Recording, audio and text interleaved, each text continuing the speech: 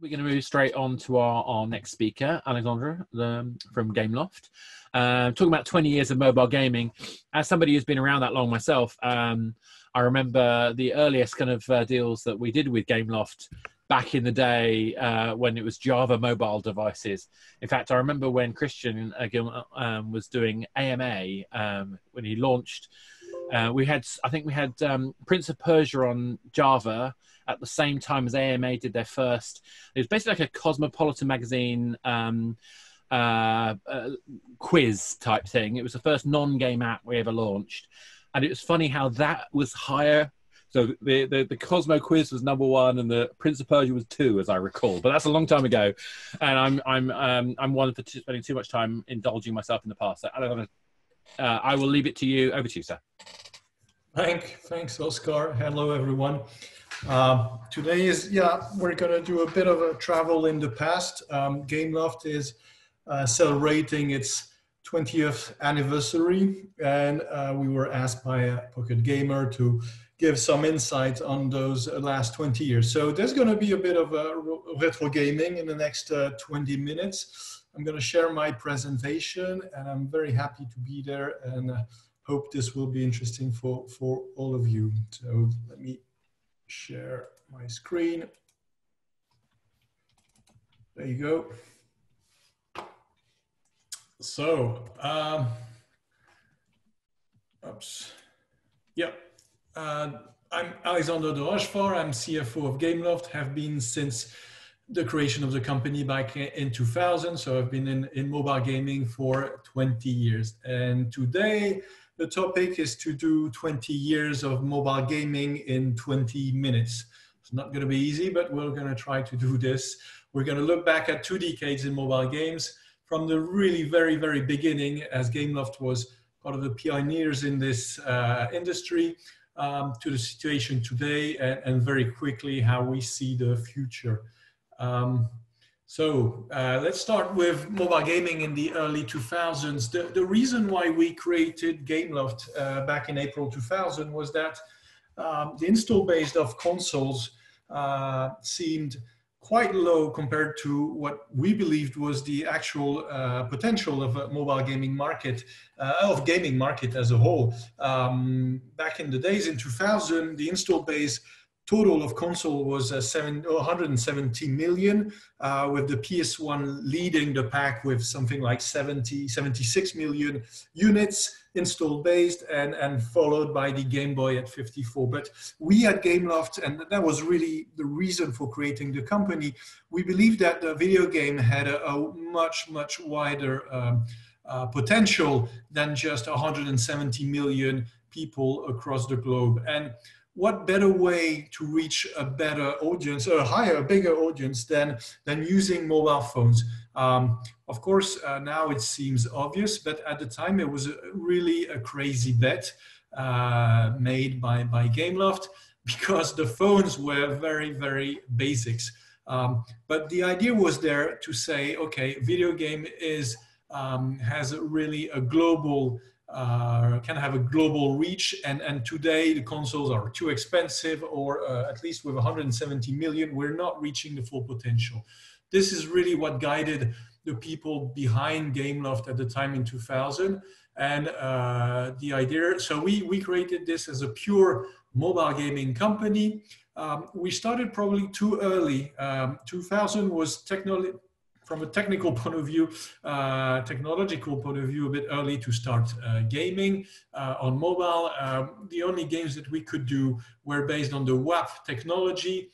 So between 2000 and 2002, we created um, few dozens, well, a couple of three, three dozens of, of, of, games on, on WAP. And WAP was essentially uh, a technology that allowed you to do browser-based gaming um, but a very basic experience uh, as a browser gaming on your mobile. Um, and so clearly the, the company um, had a rough time during those two, three years, first three years, because the market simply wasn't there. Uh, the technology wasn't there. We we kept on going though, uh, and and, uh, and kudos to our to our shareholders at, at the time who continue to believe in the company, even though our revenues and uh, we're, we're not really flying, uh, going anywhere. Uh, but we, we, we, we continued on. And uh, by the second half of 2002, we had um, very good news coming from Siemens and Nokia at the time. Uh, they were the first to integrate uh, the Java technology in their mobile phones, which allowed us suddenly um, to get to a next level from a, a, gaming point of view on mobile phones. So beginning of 2003 is really where the story begins for Gameloft as a mobile gaming company. With the Java technology integrated in the phones, we were able to really create um, action games, uh, not browser-based games. So games that you could download on your phone for one to three dollars, between one and three dollars, depending on the countries or type of games. We're selling those games uh, through um, the uh, carriers and handset manufacturers and our revenues really boomed. So we, we went from zero revenue, close to zero in 2002, um, to just just under um, 100 million euros of revenues uh, in 2007. So this really uh, uh, marks the start of Gameloft as a company and, and of the industry, really, of the mobile gaming industry. Uh, for me, the real beginning is, is, is uh, end of 2002, beginning of 2003, when Siemens and Nokia start shipping um, their first uh, Java-enabled phones. Um, and at this time, so Gameloft was one of the pioneers, but there were others with us I remember very well Jamdat being our number one competitor at the time, but you had Andy Games, Iomo, etc., etc. Quite a few, not that many, but quite a few. A uh, few that still exist today, which is uh, shows how difficult this market is and how um, important it's been to, to adapt to this ever-changing market conditions. Um, so the type of games we're doing would, would look like this. Um, this will bring back memories to some of you. Uh, to others of you, this will bring cries of horror at looking at those games. But actually, at the time, it, it was pretty cool for us. I mean, coming from web games to these Java games, the experience seemed really incredible. I, I, I, for one, had a really nice experiences, game experiences. I recall very nice game experiences on, on the Nokia 3110, uh, 3510, uh, and on the clamshell phones. So here you see a rapid evolution. We went, and the technology evolved very rapidly from then on. We went from black and white tiny screens on the Siemens M50.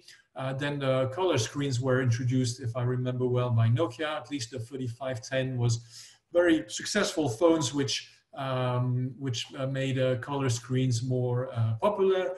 Um, then the clamshell phones arrived uh, with the Sharp, Motorola. Of course, Motorola became number one handset manufacturers. So these guys, the manufacturers and the uh, telecom operators were uh, our number one uh, partners during those years from 2002 to 2008.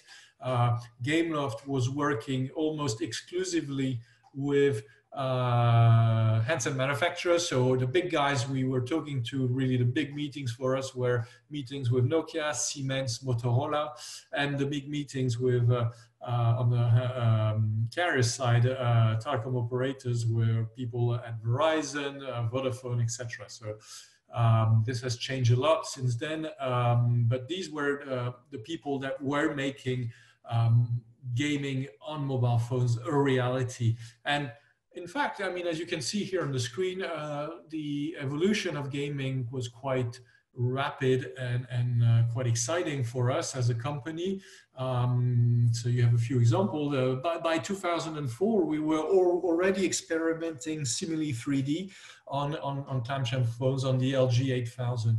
Um, so the market grew quite fast because the technology was getting way better. Uh, here by 2005, we had 38 million mobile players and the industry was 1.8 billion. So it was uh, quite uh, quite significant for, for us. I mean, give, keep in mind that we started from close to zero uh, at the end of 2002. Uh, and uh, you can see here at the time what was the expectations from the market studies, which were probably uh, below reality after that. Uh, but clearly, by 2005, we were becoming a real something to notice. Uh, the industry, the mobile gaming industry, was already becoming something to notice in the video video game space as a whole, even though we were representing only a small part of the of the total industry. Uh, so you, you may ask yourself, what was the market looking at from a, um, from a development and, and consumer perspective at the time was very, very, very different from what we see today. Um, Gameloft uh, and its competitors, we, our goal was to release as many games as possible. The, um, you would play a game, I mean, the game had a, uh, a finite um, gaming time. You, you, could only play the game for two, three, four, five hours, let's say six hours, after which you were, you, were pretty much finished with the game. So of course, for developers, the goal was to launch as many games as possible to make sure that people, uh, the next game that people would uh, download would be one of your games. So at the time, I remember Gameloft would release between uh, 35 to 50 games, pretty high quality games, uh, according to the uh, current standards at the time, uh, 35 to 50 games per year. Um, and we grew our staff from 100 people at the beginning of 2003 uh, to 4,000 people at the end of, of 2007. So the increase in headcount was was massive and crazy. Uh, but we needed all those people to release 50 games per year, and we were always always striving to go for high quality. So we needed uh, a lot of people, um, and uh, we also needed a lot of um, hands to adapt the game to an increasing number of handsets we need to develop on the the level of fragmentation was insane and uh, and we had uh, to hire a lot of people, uh, especially in, in our studios in Asia, to do, do QA and porting a deployment of our games, of our 50 games on thousands of different handsets. So that was one of the big, uh, if not the major barriers of entry in our industry is that the fragmentation was insane and you needed to develop a lot of different games. The players were really discovering mobile games uh, at the time. So um, they were they were uh, very open and and and they're still very um, candid in the way they were receiving the games. Uh, I remember uh, the guys at Pocket Gamer. Uh, Oscar was, was mentioning it. I mean, we have very fond memories of those times where uh, consumers um, were probably less cynical than they are today and, and receiving all those new games with amazement. Each new game represent, you know uh, replacing the previous one with new features new new exciting things every every every game added something quite new uh, because the phones were evolving quite rapidly um, so very exciting times. Um, there were our, our marketing budget was close to zero so there was no ua there was no cpi whatsoever. Uh, our sales teams uh, goal was to um, be uh, as close as possible, as friends as possible with um, the telecom operators uh, to convince them to push forward our games, uh, like featuring uh, on their own platforms um, for our games to be pushed forward. So we would pitch the game to the telecom operators, show them how good the game was, uh, how it would change the market, etc., etc. So um, quite different from from today. And uh, well, the games were sold for one to three dollars. It was a pay per download, and there was no ads in the games. Um, then, of course, July 2008 is the turning point of the industry, as you know. Uh, it's the launch of the App Store uh, in July 2008, quickly followed by Google Play uh, in October, and quickly followed by Amazon, Facebook, and uh, a lot of other digital digital fronts, uh, storefronts, uh, including, of course, Microsoft, etc. Um, so this really, as you know, marks a major change for the industry. Um, Apple, Google took away, in a sense, the market from the handset manufacturers and uh, from um, especially the telecom operators. So a company like Gameloft was generating 90% of its revenues at the time through telecom operators, Today we generate around, we still generate, uh, but it's only 15% of our revenues that we generate via telecom operators. And we do this especially in, um, in uh, developing countries like uh, and areas, so Latin America, parts, parts of Asia, and, and, uh, and uh, Middle East and Africa. Um, and, but the rest is done with uh, stores, uh, OTT stores, and especially Apple and Google. So this really marked a major change um, this is how our game started to look. So if you keep in mind the games that we showed a few minutes ago, you can see uh, the step up. Um, these are a few screenshots uh, of the first Gameloft games uh, on uh, the first iPhones and Android phones back in 2008, 2009. And so Asphalt 5, Nova, uh, Modern Combat, Zombie Infection, and many more uh, were really uh, pushing the boundaries of these phones, but we were able to do um, games that were uh, full 3D games um, on which you had PvP, uh, on which you had social uh, interactions, uh, you had the accelerometer, you had touchscreens. It was really a to totally different uh, game. Our Java games, um, in terms of size, were between towards the end, we were talking a, a few hundred kilobytes. Um, with the advent of the of the iPhone and, and Android phones, we started doing games of several megabytes. And, and today, a game like Asphalt 9, um, fully fully downloaded, is probably between one and two gigabyte. Um, so you can you can measure the the uh, the long path that we we've gone through uh, and of course, the main difficulty here was to adapt our teams, uh, for our teams to adapt from uh, 2D Java games of a few hundred kilobytes uh, to full-fledged 3D PvP uh, online games um, weighing one gigabyte. So uh, really our teams were incredible during those years because we adapted quite well. And as you know, Gameloft story has been uh, up to a couple of years ago only through uh, organic growth. So we didn't buy any studios. We just created those studios from scratch in different locations. Today we have uh, something like 17 different studios across the globe, um, which has always been the case. We've always tried to have studios uh, located across the, the, the world. So yeah, 2008 is really uh, about evolving technology, uh, but also about evolving business model. We went from selling games for one to two uh, euros to selling games for five to 10 euros.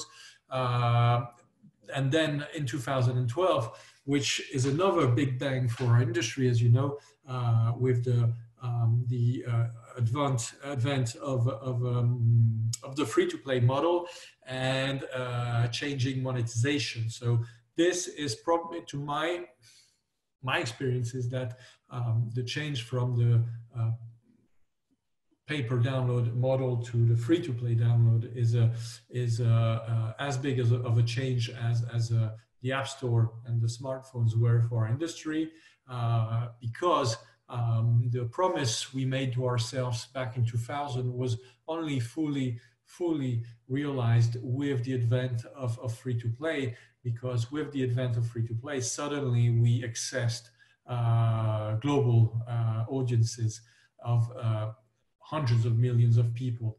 Um, so with the advent of free to play, uh, with the fact that the games were distributed freely, uh, it changed everything in the market. It changed the way we were creating the games, the way we were thinking the monetization of the games, but it changed the demographics of the industry, uh, it changed the tastes, and it changed the development standards. Uh, and of course, at the end of the day, it changed the market size. Um, so we have games now that have been downloaded almost 1 billion, 1 billion times. Um, Disney, uh, sorry, uh, Minion Rush by Gameloft uh, is about or has reached uh, a billion players across the globe. Um, today in 2019, we, we can also uh, see how far we've got. Uh, mobile gaming is a 68 billion dollar industry. It's been driving the growth of the video game market for the last few years. We have uh, estimated 2.5 billion video game players across the, the world, most of which play on, on mobile phones. So uh, the promise we, we made ourselves uh, 20 years ago is, is fulfilled. Uh, and today, yeah, mobile is the number one segment in the video game space and one of the fastest growing segment within this space. Uh, from a geographical point of view, it's Asia, which in the past few years uh, has been driving the growth of the mobile gaming market. Of course, the numbers here that I show uh, show exactly the country, uh, but 2019 was quite a special year for uh, um, for Asia. Um, but overall, if you look back at the last uh, four or five years, clearly Asia Pacific have been fueling most of the growth, a lot of the growth of the video game market, and a lot of the growth of the of the of the mobile gaming market. It is now the number one region uh, in the world uh, by far, 72 billion versus uh, 40 for US, uh, etc. Um, now, if we if we look uh, at Gameloft and, and the industry uh, in the future, uh, we clearly think at Gameloft that mobile gaming is today at a crossroad. We, we can see uh, very different trends um, and uh, contradicting trends uh, emerging. Um, of course, there's the free-to-play model, which is the dominant uh, model today, um, which appeared in 2011, which has allowed, I was saying, uh, the audience to just multiply uh, exponentially in the last couple, in the last few years. This free-to-play model is still the dominant model. It's based on in-app purchases and ads. Uh, it has high barriers to entry in the sense that you need significant UA budgets and the metagame complexity makes it difficult for newcomers um, to penetrate and to be successful in this market. we, we have become extremely complex organizations uh, compared Gameloft in 2020 compared to Gameloft in 2005 is a very, very different uh, beast. Uh, we have like all players we in the industry, but we have uh, people specialized in user acquisition, uh, data scientists, psychologists, etc., etc. Which, of course, we, we the, the, life our life was a bit simpler back in the days, back in 2005. But of course, the market is is way way bigger, and the uh, um, the um, the challenge is is is way way way more significant. Um, and today, yeah, in free to play, monetization and user acquisitions are, are key. Then in the past two years, we've seen the uh, hyper casual um, uh, tsunami uh, take over a significant uh, portion of the of the market. Um, there was a study by, by Tower Sensor showing that 80%, 80% of last year's download were uh, related to uh, hyper casual games. Um, so it is really taking the market by storm. Um, it's uh, allowed new players to enter the market and to be very successful. And uh, it is a very different market and, and, and way of thinking uh, mobile gaming than the uh, free to play we've known so far. So these are 100% ad based uh, games for, for most of them. Uh, the barriers of entry are, are to entry are lower.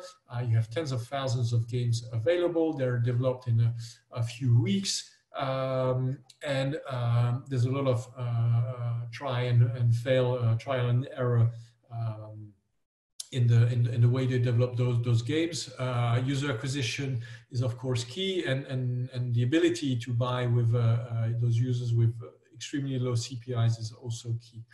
And then you have a, a another trend which has been extremely successful for uh, the movie industry and for uh, the music industry, and which so far has not taken fully in, uh, in our market, which is the subscription uh, business model, with, uh, with Apple Arcade uh, leading the pack for the moment, of course, with Microsoft on console, but on mobile, Apple is really leading the pack in terms of trying and develop a new business model via subscription, no ads, no in-app purchases.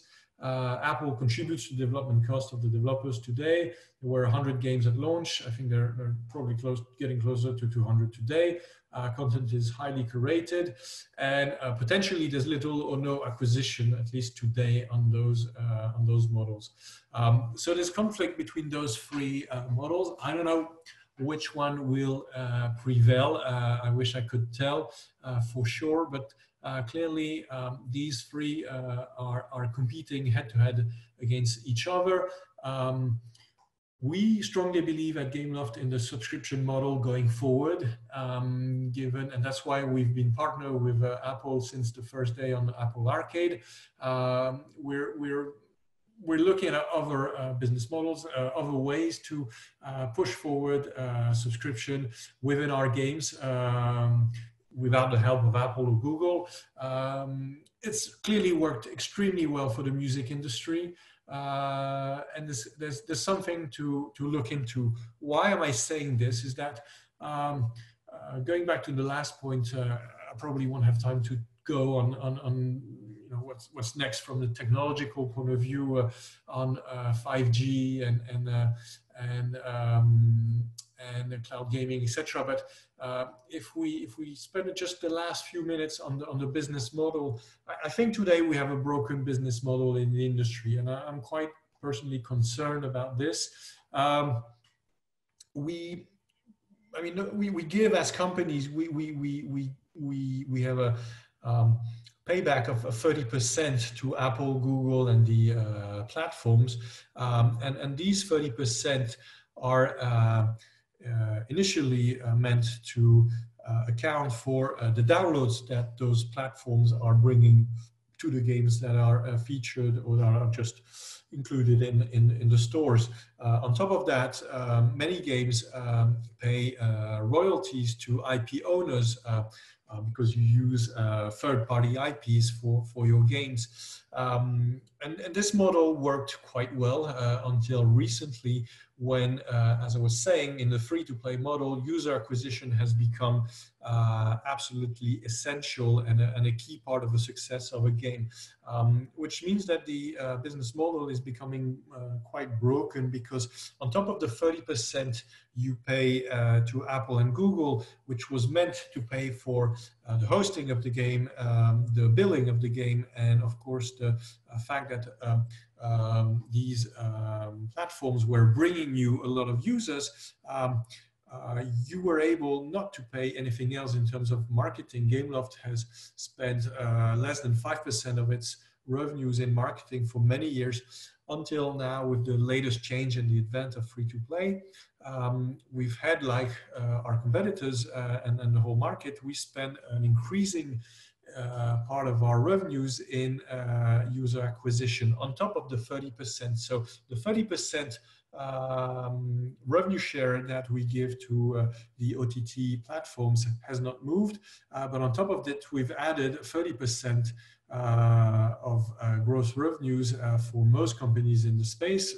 they spend 20, 30% of their revenues um, buying users, buying downloads on top of the 30% we they're already pay. So in total, uh, when you receive, when, when users uh, pay $100 uh, spend $100 on, on a game. At the end of the day, um, taking into account the uh, OTT revenue share of 30%, taking into account royalties that you may have to pay on, a, on an IP, third party IP of let's say 20%, and taking 30% uh, uh, of gross revenues paid uh, spent in UA, you've got you've got $26 left as a company left to pay for uh, your production and all of your SG&A.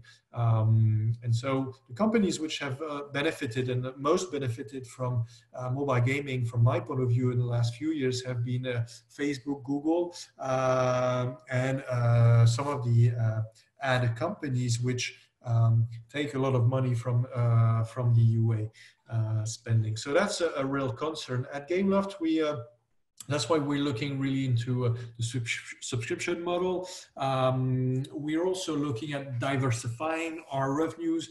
Um, we've we've launched Asphalt 9 on console recently. It's been a huge success on the Switch. Still is. Uh, it's actually uh, making more money today than it was uh, three months ago, or six months ago, or nine months ago. Uh, so we'll take a lot of our games in the future to the console. Uh, we've always strived to be at the you know forefront of technology on the phones and uh, we think we can bring this experience on free to play to console Back to you. Thank you very much. Thank you, Alexander. That's uh, awesome. I, I, think that, that that thing you were saying about kind of you're always been trying to produce the best quality content on the best platforms, and we've had a few kind of like um, you know full starts along the way. I remember the N-Gage. I remember you know Gizmondo and things like that. But I think what you've always tried to do is bring this superb quality to games. Uh, and now, unfortunately, we haven't got much time. I am. Um, I, I mean, the one thing I, I, I would just say is like, can you imagine you know 20 years ago when we were talking about you know mobile games that we would ever see a point where mobile games was the biggest sector in the games industry. I i, I still to this day have to pinch myself. Mm-hmm. you know it's i i want to wear the t-shirt saying we told you so. But uh, that's obviously the pain and, and stress that's gone to, through that. Um, i'd love to, just one one question i think we have got time for is um, is if there was one game you would be most proud of that Gameloft would produce which game would it be um, I think I have two games in mind, but I have to give only one. Uh, I, I, would say uh, it's. Uh, I would say it's uh, Minion Rush, hmm. um, created back in in uh, in 2014, June 2014, uh, because it's the fifth or sixth most downloaded game in the history of video games uh, for a small company like Gameloft uh, to be there in the top 10 most downloaded is, is I mean, going back to when the company was created, uh, a few a few people uh, in Paris, uh, that just seems incredible. Yeah, I, I, I, Alicia has just commented in the Q and A section, "Minion Rush rocks," which is quite right too. Uh, on that note, thank you so much for taking your time out and uh, definitely taking me on a on a uh, journey back in, in my past. Uh, and it's been an amazing journey for you guys. Thanks very much. Thank you. Thanks to you. Thanks everyone. Bye.